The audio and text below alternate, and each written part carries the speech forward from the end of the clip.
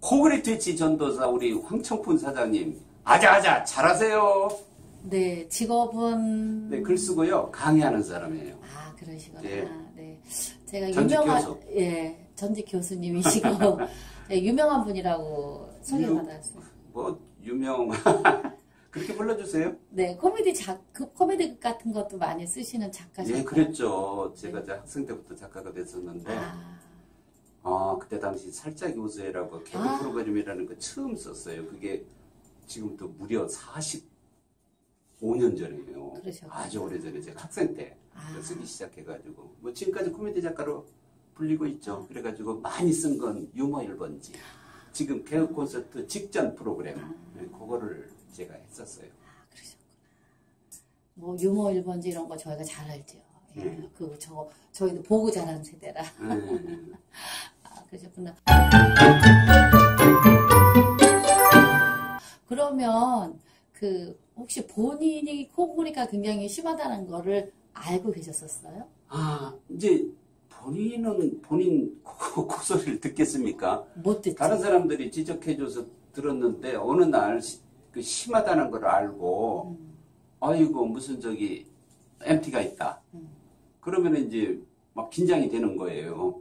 그리고 저기 또 어쨌거나 이제 집을 떠나가지고 딴 데서 설령 혼자 잔다고 그러더라도 옆에 누구 이렇게 방해되지 않을까.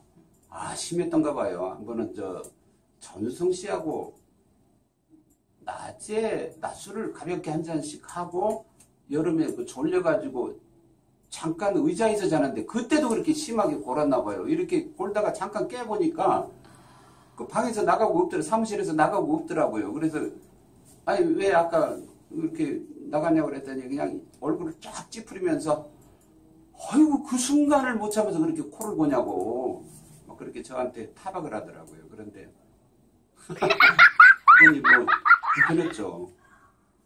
그러면 그 코 고는 것 때문에 다른 사람이 이 시끄럽다라고 하는 거 말고 그 어떤 뭐 주간 졸림증이나 뭐 다른 어떤 코골이로 인해서 생기는 다른 불편함은 또아 심했었죠. 저 차를 운전하고 가다가도 막 졸려가지고 그게 아마 이제 간밤에 좀 편안한 숙면을 못 취했던 날이었겠죠. 특히 또 그런 날. 막 졸리고 막 고속도로를 달리는데 그 위험한 지경까지 이르겠다 싶어가지고 학교 수업이 늦더라도 차라리 그냥 내가 갓길에서 세워놓고 자자. 음. 이게 지각보다는 목숨이 더 중요하다. 음. 이런 생각을 해가지고 그럴 정도였으니까 음. 상당히 심했죠. 그러면은 이제 그 정도 심하셨으면 이 코골이를 어떻게 고쳐야 되나 많이 아마 찾아보시기도 하고 아마 진단도 받으, 받아보시고 뭐 그러셨을 많은. 노력했죠. 예전에 어렸을 때뭐 시골에서 아저씨들이 나이 들면은 이렇게 코를 많이 골고 술이라도 한 잔씩들 들고 나면은 코를 심하게 골고 그러더라고요. 그래서 뭐 어른들은 다 그렇게 코나 코를 고나 보다.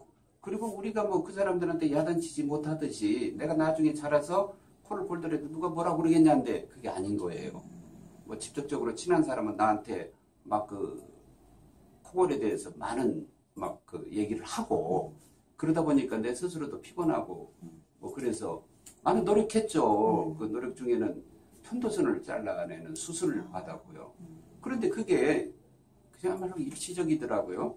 편도선이 뭐 결국은 잘하긴 한다 그러더라고요. 또 잘한다고는 그러는데 어렵게 수술을 받아가지고 그게 얼마 안 가서 또 원위치가 되는 것 같은 느낌이에요. 거기다가 또 축농증이 있다고 그래가지고 또 축농증 수술을 받았죠. 음. 아이고 두 번이나 몰랐으니까 그렇지. 그걸 저 알았더라면은 그 수술을 통하지 않고 다른 방법으로 좀 그 두 가지 거를 이겨냈었으면 싶더라고요. 음. 아 그렇게 그 수술 자체가 막 전신마취 해가지고 뭐몇 날 며칠 막 들어 누워 있어야 되는 그런 간단한 수술이 아니더라고요. 음. 코골이 때문에 그런 거죠. 음.